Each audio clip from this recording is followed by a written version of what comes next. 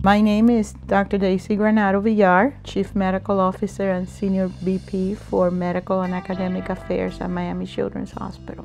I knew at a very early age that I wanted to be a doctor and I wanted to enter a profession in which I would be able to feel the satisfaction of really serving the community and serving kids especially. My parents say, we want you to go to Miami-Dade College. To me, that was my very first firm start and that push that told me, yes, you can do it. And I am very proud that Miami-Dade College served as a foundation for me to do that. I would like to be remembered as a person who truly made a difference. And to me, the difference is children. If I could leave my profession knowing that children are getting a little bit better health care because I contributed to it, that would be enough for me.